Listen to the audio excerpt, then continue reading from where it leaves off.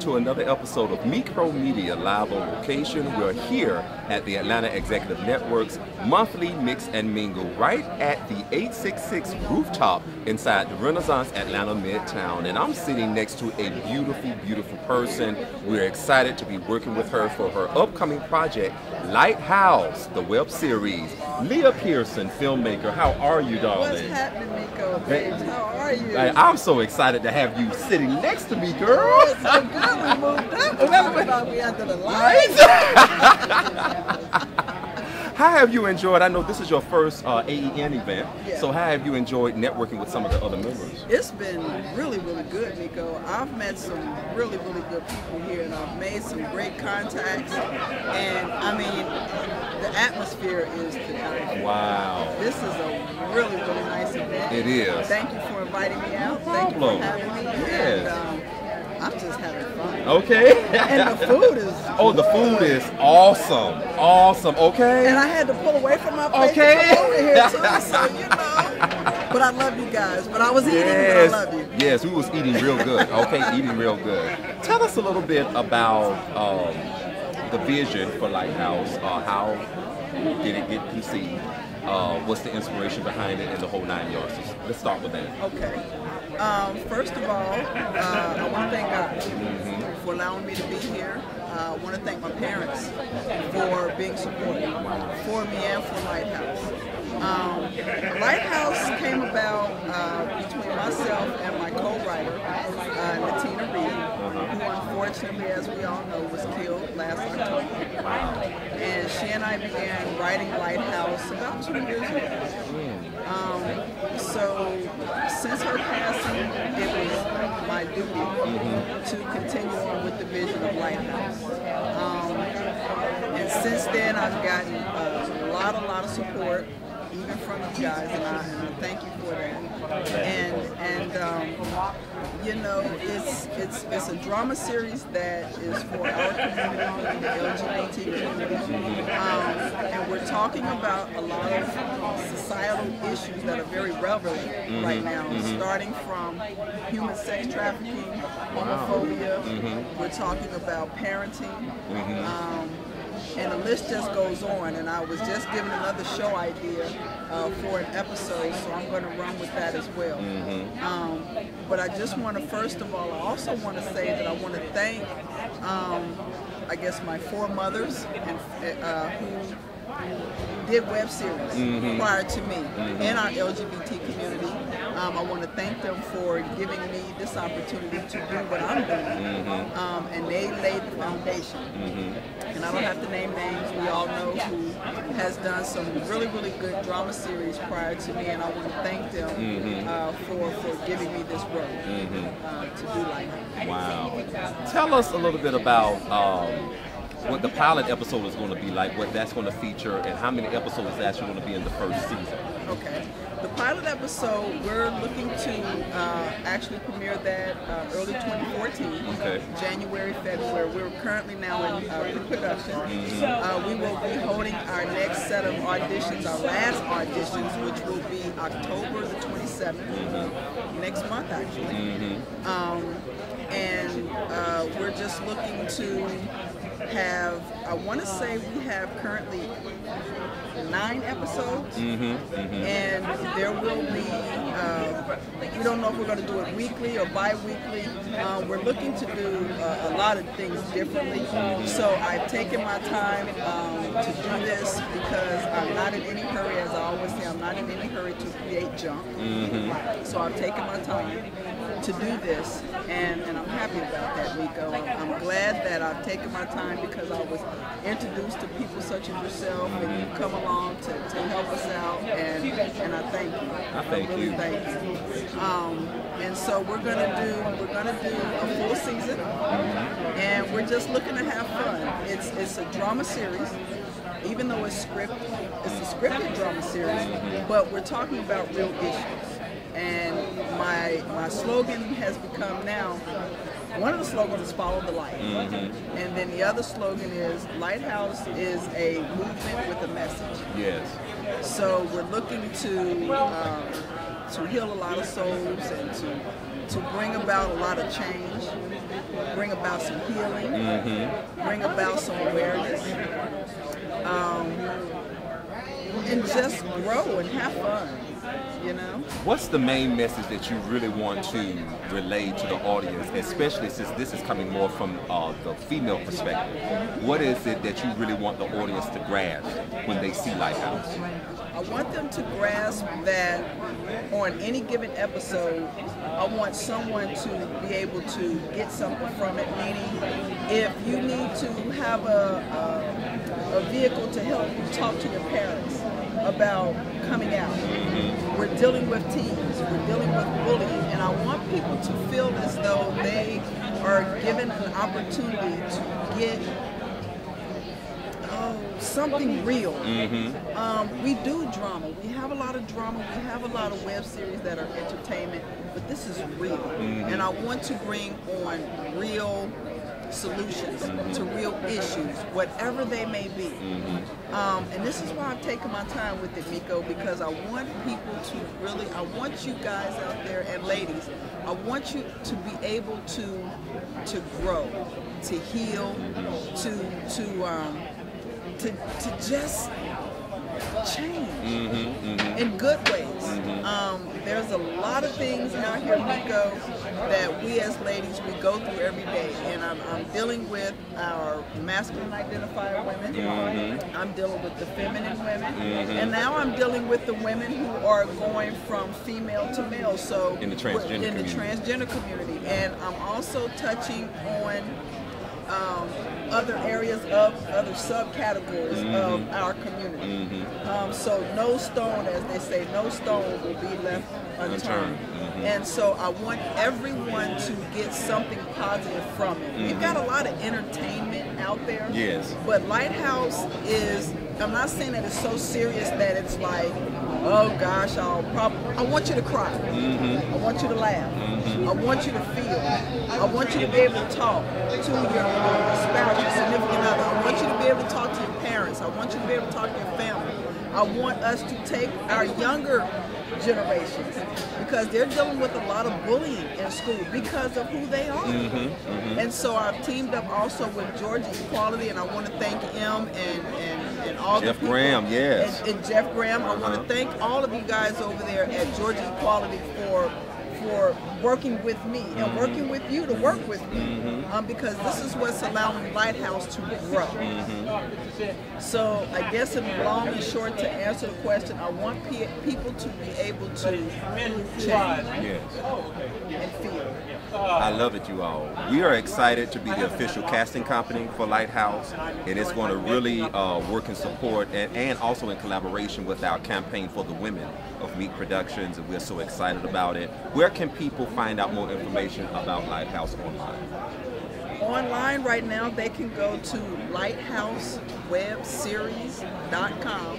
That is our webpage. Okay. And then they can go to, uh, we have a Facebook page as well. Mm-hmm. They can go to Lighthouse uh, Web Series, I believe it is, mm-hmm. on, Facebook. on Facebook. And then, of course, they can go to Meak productions.com. Oh, yes. mm-hmm. And then they can go to top, T O P P, bottom. Like that, right? Okay. top, topbottom.com. Okay. We'll have a lot of information there as well. Okay. And then, of course, you can always email me at stone by stone productions at gmail.com and I'll get all the information that you send to me from there as well. Lea Pearson, ladies and gentlemen, we are so excited to be working with her once again and be on the lookout for more things from her because Lighthouse is not the only series and production that she's working on. We're going to be collaborating on future projects for the women of Meak Productions and we're so excited for 2014 and what is about to bring in store.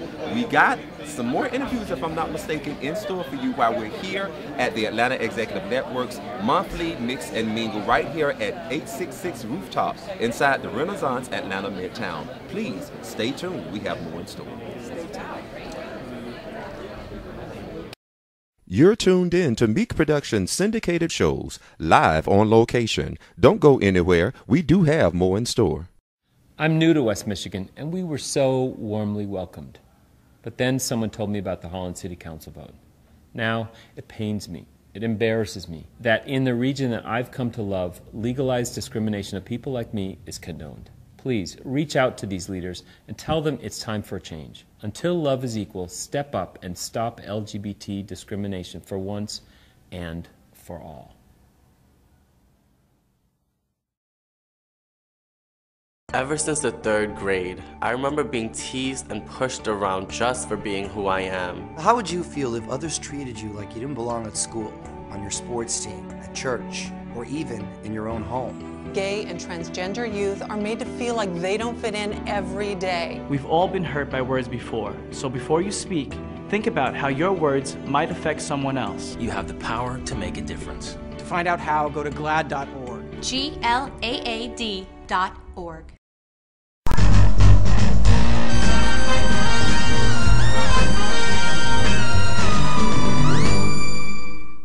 We're back with Meak Pro Media live on location at the Atlanta Executive Network's monthly networking mix and mingle right here at the top of 866 Rooftop at the Renaissance Atlanta Midtown. And I'm here with recording artist Hannah Thomas. Girl, what is going on? You know, we're just playing some music tonight. yeah, we're man. having a good time. Yeah, baby, you you made history tonight because this is the first time that uh, AEN has had a musical artist to perform at their networking event. So welcome, baby. Thanks for having me. I really appreciate it. Baby, I love the title of your EP, Goodbye on Wasted Time. Give us the vision behind this concept. You know, it's all the things I learned in the last couple years. Um, you know, before I was trying to cater my music to be something else, and now I'm just being honest with my life. Yes. Just, just saying, no filter. Okay. yes, no filter. Straight up, raw, uncandid, uncensored. Absolutely. Un- yes. How long have you been doing music? I've been doing music for about six years, um, and I've been touring across the country for about a year and a half, two years. Wow. And it's all independent. All independent. This we just put this this out on my record label. Wow. Three quarters record. Yes, girl. That's what I love. To see, I, I'm an independent artist myself, so Oh, yeah. I love it. Independent is the new major, people. So get ready and get used to it. Okay? We're taking control over our art. Macklemore is leading the way. Yes, yes, I love it. Uh, what are the next uh, tour dates uh, as far as uh, what's your next city you want to be stopping at? Well, we just got back from a tour in the Midwest. Uh, did some shows with the Indigo Girls and did some my own. Yeah, that was that was Historical Indigo Girls, yes. that's pretty cool. And Amy's actually on this record. Oh, cool. Okay. So next we're going we're going to Mexico this weekend. Wow. Congrats on that. We're, we're doing that for a week. So we're playing the Sweet Cruise. All right. Cool. That's Cool. gonna be great. Is this your uh, is this your first EP or do, uh, do you have like You know, other I've albums had a couple, but this is this is the one where I feel like I've just completely started over. This is this is my real thing. So Wow. I'm loving it. Where can people actually purchase your music? on my website, hannahthomasband.com, on Facebook, iTunes, Amazon, wherever you wherever you want to buy music, you can find it. Wow. Wow. What's in store for the future for you? Uh, what are the future projects that you're going to be working on? We're getting ready to do another album uh, Okay. next year, and uh, we got Don Dixon producing. He did the first two REM records. Wow, okay. Stuff. So I'm pretty stoked about that. Wow. Wow. That's going to be awesome, girl. I can't wait. Wow. Do you got anything uh, planned for the end of the year, like for the holidays or anything like that? We're touring, touring, touring nonstop. Just Oh. take, taking it everywhere, everywhere in the United States. So I know most artists they kind of take a break for the holidays, but you all going to be working. Yeah, that's what, that's what we do most of the time. I mean, I'll go home and see my family. Yeah. Gotta make mom happy too. Yeah, you know, you gotta stop by see mom every now and then just to keep them cool, keep them calm. Oh, Let you know we still love you. We still gotta make that paper though. we gotta make that paper, okay?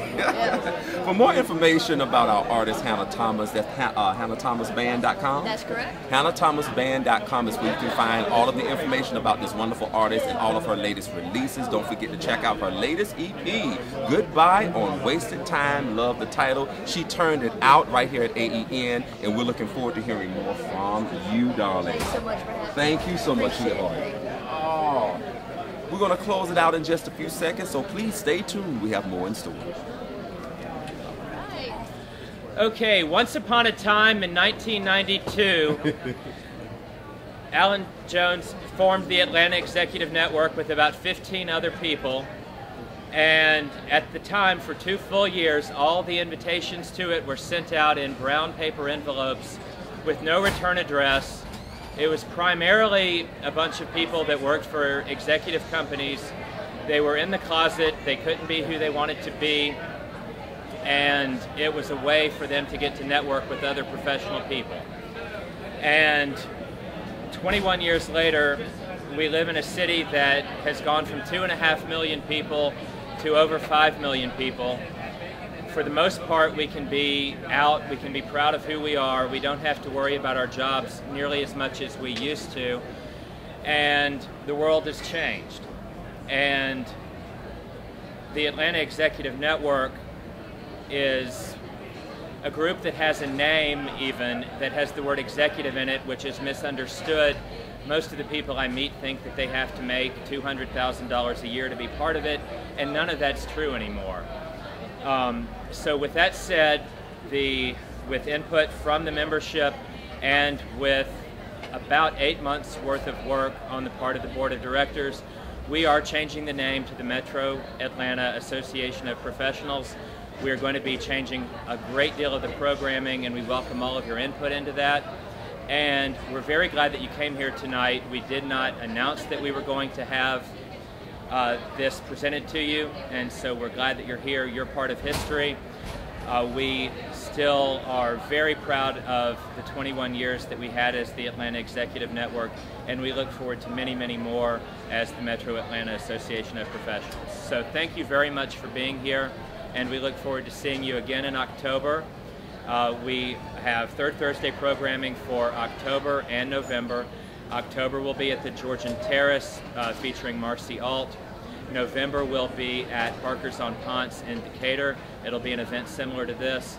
And then for the holiday party, which has traditionally been held on the first Thursday of the month, that will be at Henry's Midtown, just over on 10th Street. So again, thank you, and we're very glad that you were here tonight.